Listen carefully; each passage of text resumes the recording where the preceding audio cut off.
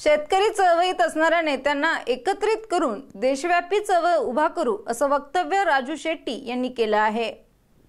राज्यातील तसेच उत्तर भारत राजस्थान कर्नाटक शेतकऱ्यांशी तसेच या चळवळीत असणाऱ्या नेत्यांना एकत्रित करून आठ तारखेला बैठक घेऊन देशव्यापी चळवळ उभी करणार तसेच दिल्लीत बैठक घेऊन दिल्ली सरकारवर व राज्य सरकारवर दबाव आणणार पंतप्रधानांनी जी आश्वासनं दिली ती पाळली नाहीत. त्यामुळे या सरकारला बळीराजा माफ करणार नाही असे राजू शेट्टी यांनी सिंधुदुर्ग जिल्ह्यात आल्यावर स्पष्ट केले आहे. त्याचबरोबर देश पातळीवरच्या काही शेतकरी नेत्यांशी संपर्क साधला. आज सकाळी मला उत्तर प्रदेशमधील शेतकरी नेते राकेश टिक्के त्यांचा फोन आलेला होता. त्यांनी मला सांगितलं की महाराष्ट्रामध्ये जे वातावरण तयार झाले त्याचा प्रभाव हळूहळू उत्तर भारतामध्ये पडायला लागला आहे मध्य प्रदेशमध्ये काही लोक आंदोलन करायला लागलेले आहेत.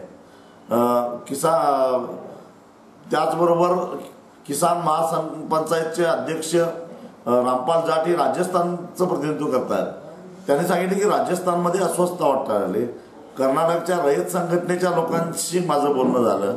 आंध्र आणि तेलंगणातल्या काही शेतकरी नेत्यांशी बोलणं झालं. आणि आता मी आम्ही एक असा निर्णय घेतलेला आहे की मुख्यमंत्र्यांनी आणि एकूणच राज्य सरकारनं शेतकऱ्यांच्या तोंडाला पानं पुसणारा हा जो निर्णय घेतलेला आहे तो ज्यांना ज्यांना मान्य नाही अशा या संघ चळवळीशी संबंधित असणाऱ्या सगळ्यांची एक व्यापक बैठक येत्या आठ तारखेला नाशिकमध्ये घ्यायची. या चळवळीमध्ये आणि या समन्वय कोर कमिटीमध्ये असणाऱ्या अजित नवले यांच्याबरोबरही माझी चर्चा झाली आहे. माकपचे अशोक ढवळे यांच्यावर चर्चा झालेली आहे.